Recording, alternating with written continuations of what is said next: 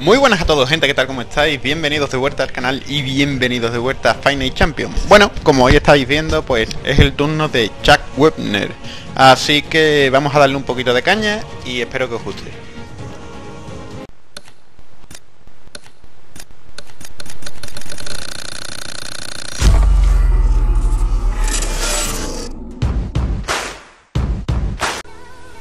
Perfecto, pues ya estamos aquí. Antes de nada, como siempre, os doy las gracias por el apoyo que están recibiendo todos estos vídeos de Final Champion y, bueno, prácticamente desde que empezó el canal, ¿no? Entonces, pues como os digo, gracias por el apoyo de los vídeos y el apoyo del canal en definitiva.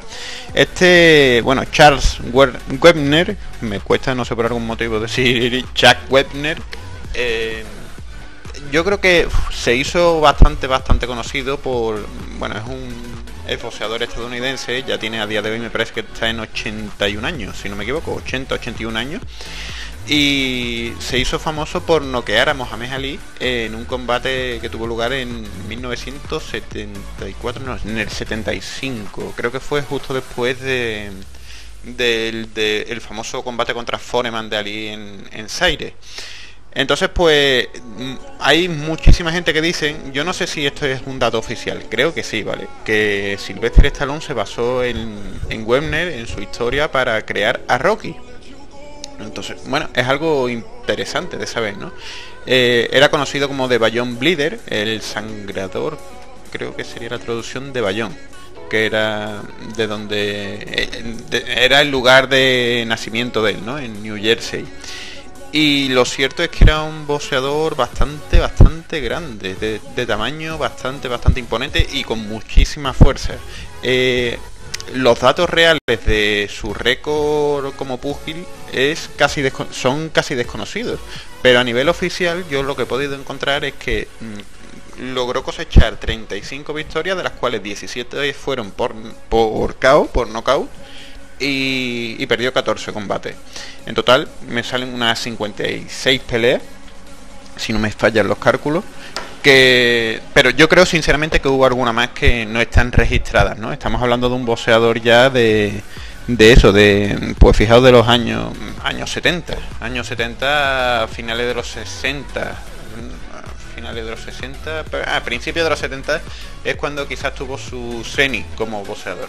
Entonces, bueno, vamos a crearlo. Yo mm, creo que ha quedado bastante bien, bastante bien. Ahora os voy a dar alguna que otra opción para que podáis modificar las, modificar las cositas mínimas que os diga y, ya está, vamos al lío.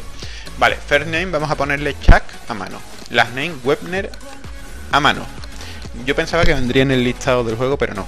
Nickname le he puesto Doctor Steelhammer. No viene de Beyond Bleeder, así que nada. Hometown New Jersey, se lo he puesto a mano. Ring Entra Music, The Problem Is y Ring Wall Focused. No activamos ningún efecto. Apariencia, peso pesado, Body Type, body type Big Man, Body Definition Ripple, Haze 65, Weight 221 libras, Ring 77, Skinton número 3, Hairstyle Short Pulse, Hair Color Dark Brown, eh, Eye Color Brown, Cyber Style, eh, Style 1, efectivamente, Cyber Color Dark Brown, Facial Hair Style Full Mustache, Facial Hair Color eh, Medium Brown, Euro Style 7, Euro Color Dark Brown, eh, Hair Style Dense Stripe y Hair Color Black. Bien, os iba a comentar una cosa antes de pasar a la siguiente pestaña y es que se me ha olvidado, lo tengo aquí anotado. La plantilla para la cara que he escogido es la número 26, ¿vale? Eh, nada más, que lo sepáis. 26 es la plantilla que he escogido para la cara. Seguimos. Tatuajes nada y accesorios. Los guantes le he puesto unos genéricos de EA Sport, los Old School. No tienen más más chicha donde rascar, ¿no? Entonces le ponemos eso y ya está. Trans. Bien, las que más me gustaban porque me he basado en, el, en la pelea contra Mohamed Ali, como no podía ser de otra manera, eran estas que le he puesto. ¿Qué ocurre? Tienen un toque bastante psicodélico porque las que usó en, el, en la pelea real eran colores planos, eran la mitad azul así oscuro y la otra mitad la otra mitad roja, ¿no? Yo he escogido esta, la de Oscar de la Olla corta, 57 de 65 de ella Sport. Si no me equivoco la tenéis que tener desbloqueada tal y como entréis en el juego. No hace falta hacer ningún récord, nada, ¿no? Ahora, Full Protector y le vamos a poner izquierdo, derecho y top en blanco Esto es que por defecto me los cambia el juego, ¿vale? Pero entonces es en blanco y es nuestro blanco de siempre. Cruceta en medio de la paleta y aquí. ¿Veis? Es que el juego me, me tiene loco lo de la creación de los boceadores. Tiene ahí un bug que además lógicamente eso ya no va a tener solución ni actualización posible. Ahí está, ¿vale? Le ponemos los tres en blanco. Socks, medium 3 stripe, serán los calcetines, 4 de 7, más media casi que de calcetines. Primary color es nuestro blanco y secondary es nuestro negro. Cruceta en medio y arriba es el negro. Más cositas. Choose, Everlast, los high top, 3 de 3. Para botas cortas es el calzado que más me gusta por la cantidad de modificaciones que te permite hacerle. Vale, van a ser color base, secundario y logo. Este. Este marrón que estáis viendo aquí. Ahora, la asada va a ser nuestro negro, el mismo que os he enseñado antes, y nada más. Hay una apariencia de, piel o cuero muy potente, ¿no? Entonces me gusta bastante cómo ha quedado, la verdad. Robes, vamos a decirle que sí. Adidas, uno de dos, sin capucha. Satén, Fontaine y Gothic. Y ahora va todo en negro, en nuestro negro, menos el color base, que es este rojo. Además es muy acertado porque es el rojo que solía usar en su bata. Bueno, Vale, yo creo que ya lo deberíais de tener. Y Moswar, nada, dos colores, nuestro blanco y nuestro blanco. Aquí no pasa ni media. Eh, no, no me descarten los cambios. Estilos, bien, pues le hemos puesto ortodoxo, tipo Brawler, es el que mejor le va, con diferencia. He probado también Bowser Puncher y tal, pero Brawler, Brawler le da un puntito ahí muy característico de agresividad. Estilo Steady, lo que está el textbook y Punch Style claramente a eh, fuerza, power, ¿no? No era un boxeador tampoco, yo considero que no era excesivamente rápido, ¿vale? Os dejo por aquí la plantilla, la primera parte de la tendencia de la IA. Usaba su principal, mm, bueno, su principal herramienta de golpeo eran su crochet o gancho, como lo llaméis. Eh, incluso, bueno, el jazz lo usaba más que nada para marcar un poco distancias y tal, pero el gancho, los crochets eran brutales, ¿no? Los crochets eran brutales y ahí era donde le imprimía toda la fuerza. De vez en cuando te veías alguna bolea por encima de la cabeza que daba pánico. A, Ali le, tira varias en, el combate. Y, bueno, esa sería la primera parte de la plantilla, de las tendencias de Raya, y esta sería la de abajo.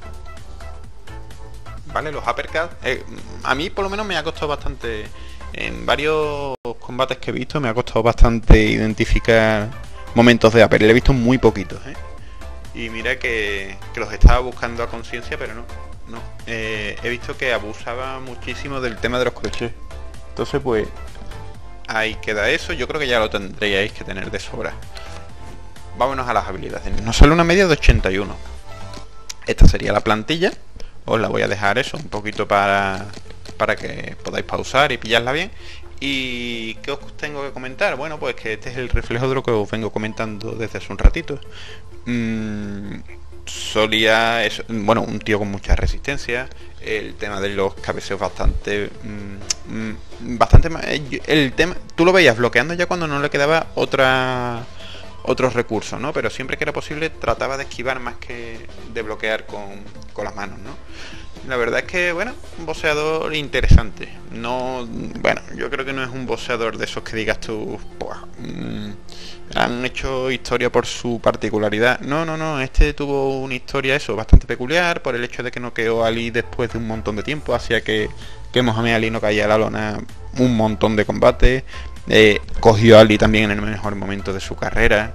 Y quizás por ese, yo creo que esa fue la guinda que también nos hizo conocer a Chuck Werner de otra manera y mm, siento mucho si a alguien le puede llegar a ofender por algún motivo que desconozco, ¿no?